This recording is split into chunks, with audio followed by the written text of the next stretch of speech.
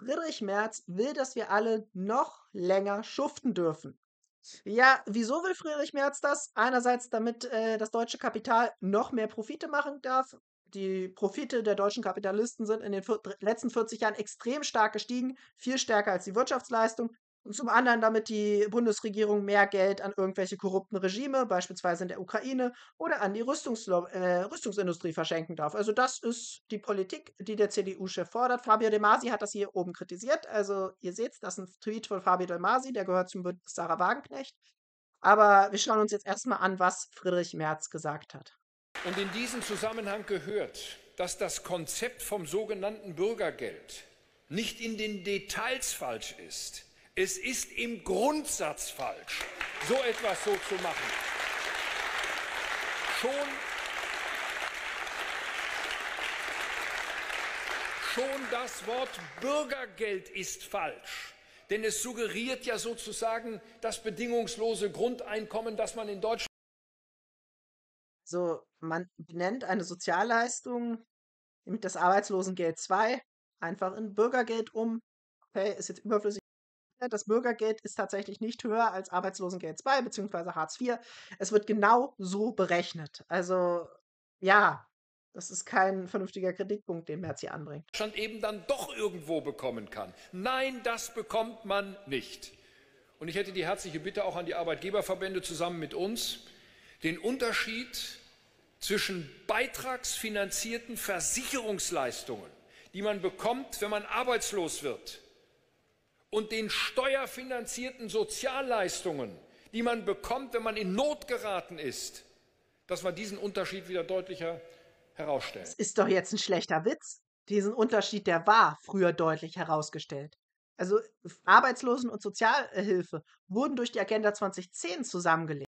Früher hat man großzügige Arbeitslosenhilfe bekommen. Das wurde durch die Agenda 2010 enorm verschärft. Die Agenda 2010 bedeutete gar nicht mal eine Verschärfung für die Arno Dübels, also für die, die seit Jahrzehnten von Sozialhilfe leben, von denen es sowieso sehr wenige Fälle gibt. Also wir haben in Deutschland, also auch wenn RTL und Koda und Bildzeitung ein anderes Bild vermitteln, aber wir haben in Deutschland ungefähr 2000, ein bisschen weniger Sozialverweigerer. Und bei über zweieinhalb Millionen Arbeitslosen ist das nicht mal ein Promille. Also das ist jetzt nicht die große Zahl, die wir in Deutschland haben. Aber ja, aber das, was Merz hier sagt, ja, was soll man dazu sagen? Da ist in den letzten Jahren zu viel durcheinander gegangen. Und nur weil es so viel durcheinander gegangen ist, konnte dieser Eindruck entstehen mit dem Bürgergeld.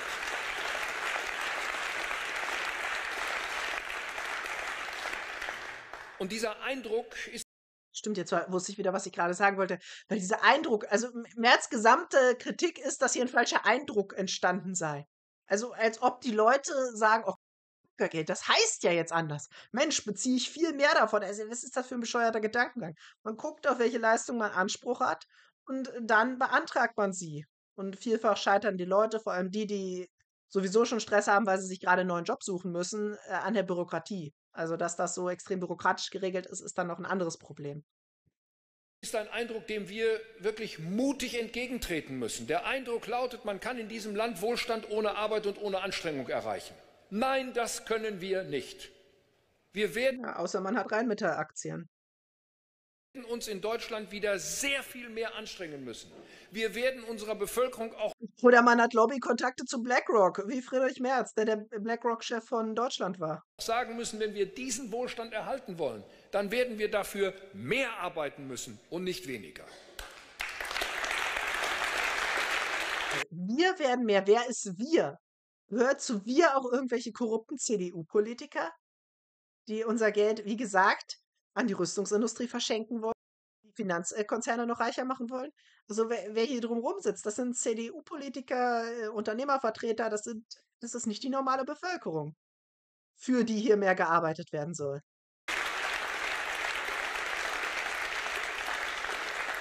Ich glaube übrigens, dass uns das in einer Bevölkerungsgruppe besonders große Zustimmung eintragen wird. Und das ist nicht die Bevölkerungsgruppe die, derer, die hier heute repräsentativ vertreten sind mit Arbeitnehm Arbeitgeberinnen und Arbeitgebern. Das sind die Arbeitnehmerinnen und Arbeitnehmer in Deutschland.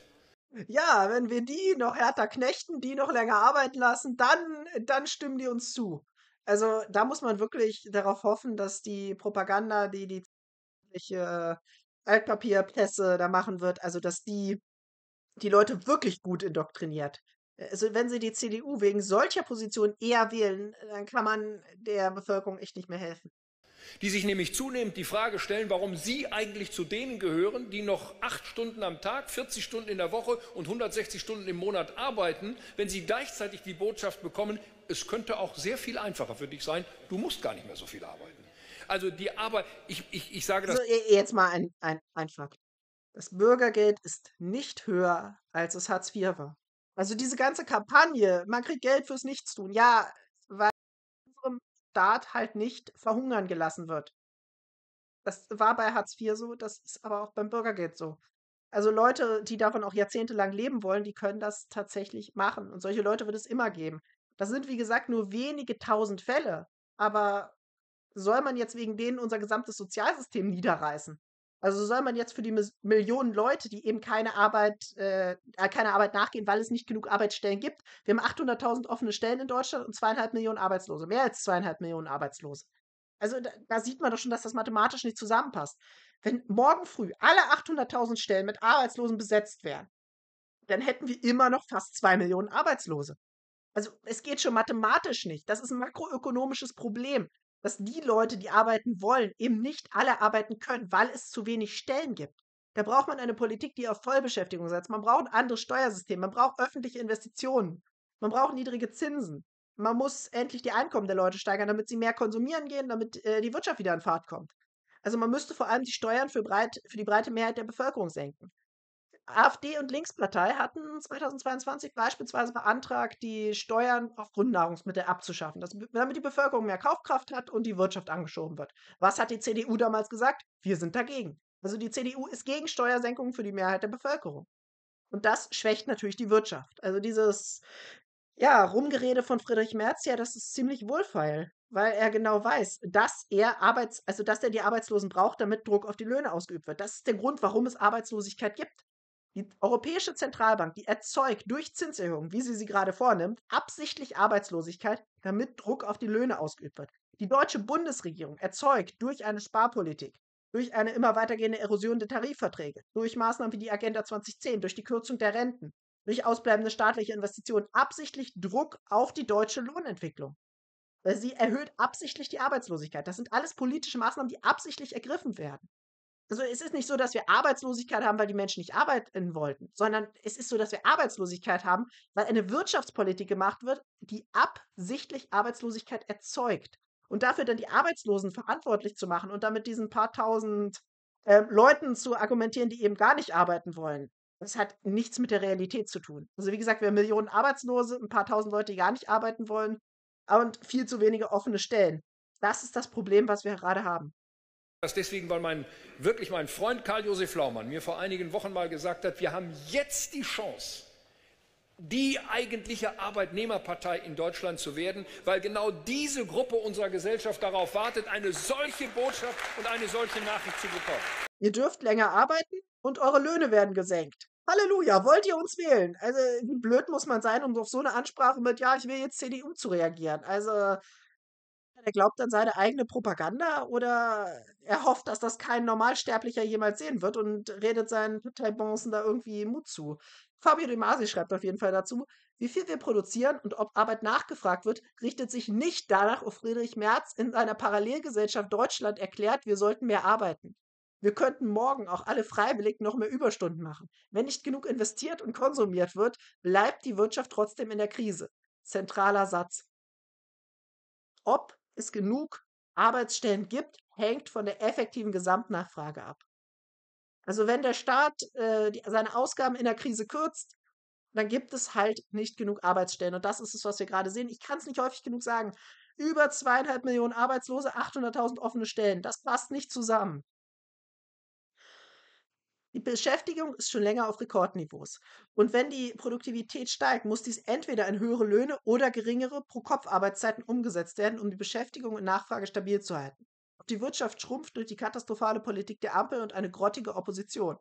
Damit, mit grottiger Opposition, ist die CDU gemeint, die diese gesamte Politik der Ampel weiter unterstützt. Die Reallöhne sind seit Corona in Deutschland überdurchschnittlich gesunken. Eine Ausweitung von Arbeitszeiten ohne Lohnausgleich drückt die Löhne weiter. Das will Merz. Und die Debatte um 1700 Totalverweigerer, ach schön, dass Fabio De Masi in seinem Tweet genau das schreibt, was ich gerade erklärt hatte. Ähm, Im Bürgergeld geht am Problem vorbei. Das größere Problem ist Bürgergeld plus Schwarzarbeit, weil Löhne nicht hoch genug sind. Ja, wie gesagt, 1700 Totalverweigerer bei Bürgergeld sind nicht daran schuld, dass wir in Deutschland zweieinhalb Millionen Arbeitslose haben. Also zweieinhalb, off also ich habe jetzt die Zahl so häufig genannt, aber das sind natürlich nur die offiziell Arbeitslosen. Die echte Zahl von Arbeitslosen ist noch viel, viel höher. Also wenn man alle Menschen, die Bürgergeld beziehen, zusammenzählt, dann könnte die Zahl, ähm, beziehungsweise nochmal stille Reserve, äh, komplizierte statistische Begriffe. Ich habe da ein Video auf meinem Erstkanal zu gemacht, verweise ich nur drauf. Ähm, auf jeden Fall, ihr könnt nochmal ungefähr die gleiche Menge an Arbeitslosen obendrauf rechnen. Also die echte Arbeitslosigkeit ist wahrscheinlich ungefähr anderthalb Mal bis doppelt so hoch, wie das, was in den offiziellen Zahlen zu sehen ist. Und dem stehen, wie gesagt, 800.000 offiziell gemeldete Stellen, offene Stellen entgegen. Es gibt auch noch ein bisschen höhere Zahlen, die aus Umfragen bei Unternehmen resultieren, die, wie gesagt, auch ein komplizierteres Thema. Schaut euch da gerne, das äh, ist ein Wirtschaftstalk, den hatte ich mit Jan auf meinem Erstkanal veröffentlicht. Schaut da gerne vorbei, wenn euch das Thema ein bisschen tiefergehend interessiert. Aber das Hauptproblem, was ihr mitnehmen müsst, 800.000 offizielle ähm, offene Stellen, 2,6 äh, Millionen Arbeitslose, passt nicht zusammen wenn man zu, für zu wenig Nachfrage sorgt, wenn die Zinsen zu hoch sind, wenn die Rohstoffpreise zu hoch sind, wenn der Staat zu wenig Geld ausgibt, dann gibt es nun mal Arbeitslosigkeit. Und diese Arbeitslosigkeit wird absichtlich erzeugt von den Politikern der Ampel, von den Leuten bei der EZB. Und sie wird auch absichtlich weiter erzeugt werden von Leuten wie Friedrich Merz, die dann auch noch die Unverfrorenheit besitzen, dass die Schuld an diesem riesigen Problem auf die 1700 Totalverweigerer beim Bürgergeld zu schieben. Was vollkommen lächerlich ist. Also, liebe Leute, wenn ihr das hier seht, bitte nicht gleich wütend werden und Kommentarbereich zuspammen mit, die sind doch wirklich so faul. Schaut euch die Zahlen an. Also 1700 Leute, die wirklich keine Lust zu arbeiten haben oder die psychische Probleme. Also gibt ja auch Leute, die können das aufgrund ihrer physischen oder psychischen Verfassung nicht und die sind dann auch in diesem Bürgergeldsystem. Ist alles ein bisschen komplizierter, aber das ist jetzt echt, sind echt nicht die Leute, die unser Land in den Abgrund führen. Es sind korrupte Politiker, Leute wie Friedrich Merz, wie Annalena Baerbock, wie Robert Habeck, wie Christian Lindner, die unser Land in den Abgrund führen. Und nicht, ja, ein paar Bürgergeldempfänger, die bei Sank Sanktionen nicht richtig mitwirken.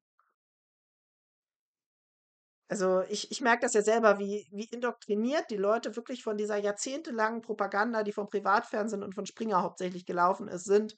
Und wie sie die in diesen Bürgergeldempfängern wirklich so eine Art Sündenbock sehen, die unser Land, ähm, die, die an der Misere in unserem Land schuld werden. Aber das ist nicht der Fall. Schuld sind wirklich Politiker wie Friedrich Merz, der gerade Oppositionsführer macht, ist und der eine noch aggressivere Außenpolitik, eine noch schlechtere Wirtschaftspolitik machen würde, wenn er an der Macht wäre, der also ähnlich schlimm oder wahrscheinlich sogar noch schlimmer als die Ampel ist.